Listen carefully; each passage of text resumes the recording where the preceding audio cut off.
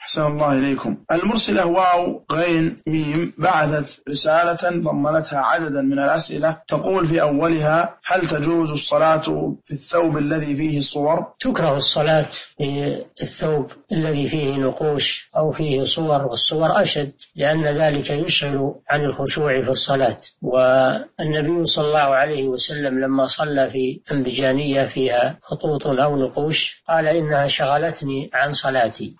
فاستبدلها بأنبجانية غيرها ليس فيها ما يشغل عن الصلاة.